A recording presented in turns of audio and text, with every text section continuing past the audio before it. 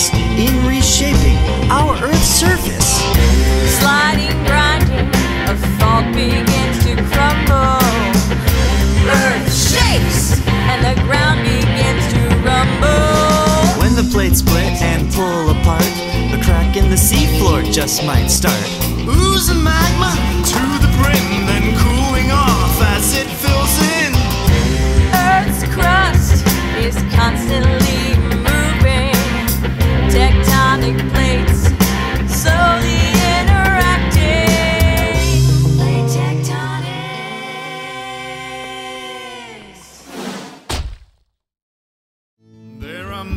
different names for the animals you know. Scientists use special names so they can clearly show the genus and the species instead of every